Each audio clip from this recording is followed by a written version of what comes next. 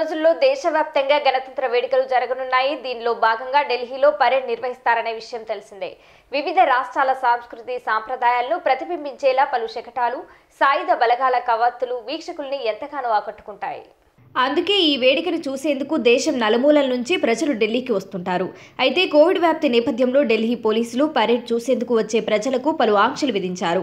పదిహేనేళ్ళలోపు చిన్నారులు వ్యాక్సినేషన్ పూర్తి కాని వారిని పరేడ్ చూసేందుకు అనుమతించబోమని పోలీసులు స్పష్టం చేశారు. కరోనా నిబంధనలు పాటిస్తూనే గణతంత్ర దినోత్సవ వేడుకల్ని విజయవంతం చేయడానికి అన్ని చర్యలు తీసుకున్నాం. కోవిడ్ నిబంధనలో భాగంగా పదిహేనేళ్ళ వయసులోపు చిన్నారులకు రెండు డోసుల కోవిడ్ వ్యాక్సిన్ వేసుకుని వారికి అనుమతి లేదు. ఈ ఏడాది దేశ రాజధానిలో జరిగే గణతంత్ర వేడుకల ప్రధాన కార్యక్రమంలో పదహారు కవాత్ విభాగాలు కనువిందు చేయనున్నాయి. ఇవి రాజ్పథ్పై టీవీగా ముందుకు సాగుతూ వీక్షకులను ఆకట్టుకోనున్నాయి. వీటిలో సైన్యం నౌకదళం వాయుసేన కేంద్ర సాయుధ బలగాలు ఎన్సిసి ఎన్ఎస్ఎస్ విభాగాలు భాగస్వామ్యం కానున్నాయి. అలాగే పదిహేడు సైనిక బ్యాండ్లు ఇరవై ఐదు శకటాల కనువిందు చేయనున్నాయి. గగనతలంలో భద్రతా కోసం పోలీసులు డ్రోన్ టెక్నాలజీని ఉపయోగించనున్నారు. డ్రోన్ల సాయంతో అవాంఛిత ఘటనలు చోటు చేసుకోకుండా పహారా కాయనున్నారు.